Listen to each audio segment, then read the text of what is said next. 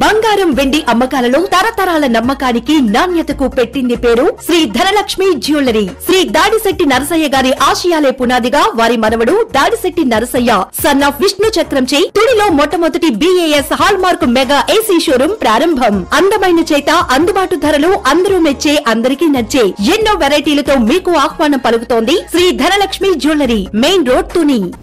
నమస్తే welcome to my media news. నేను కళ్యాణి. అన్నదాతకు అండగా నిలిచిన ముఖ్యమంత్రి వైఎస్ జగన్మోహన్ రెడ్డి రైతు బాంధవుడని వైఎస్ఆర్ కాంగ్రెస్ పార్టీ యువజన నేత దాడిశెట్టి శ్రీనివాస్ అన్నారు. ఖరీఫ్ ఆరంభానికి ముందే వ్యవసాయ పెట్టుబడులకు రైతు భరోసా పేరిట రైతన్న ఖాతాలకు నేరుగా నిధులు జమ చేసిన జగన్ సర్కార్ ఇప్పుడు రైతు భరోసా కేంద్రాలను తెరిచి రైతు పక్షపాతిగా నిలిచిందన్నారు.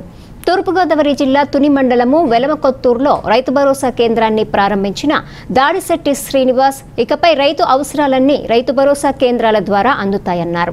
ఆధునిక వ్యవసాయంపై అవగాహన కల్పించడంతో పాటు అందుకు అవసరమయ్యే పనిముట్లు సమకూర్చడంతో పాటు పండించిన పంటకు గిట్టుబాటు ధరలు కల్పించే లక్ష్యంతో ప్రభుత్వం పనిచేస్తుందన్నారు.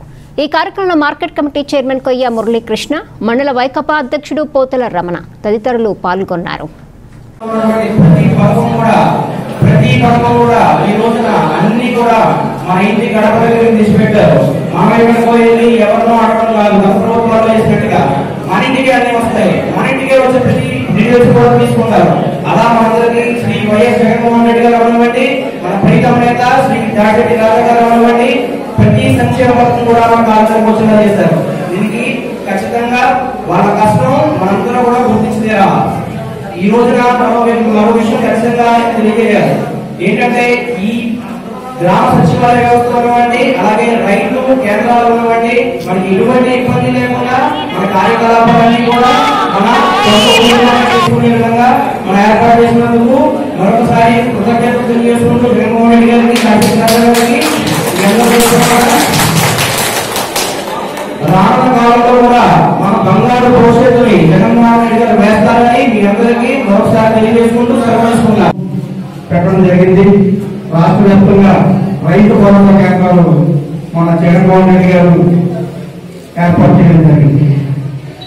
ఈ రోజు దేశంలో ఎక్కడా లేని విధంగా ఈ రోజు మన రాష్ట్రంలో రైతు భరోసా అలాగే అన్ని పథకాలు కూడా ప్రవేశపెట్టడం జరిగింది.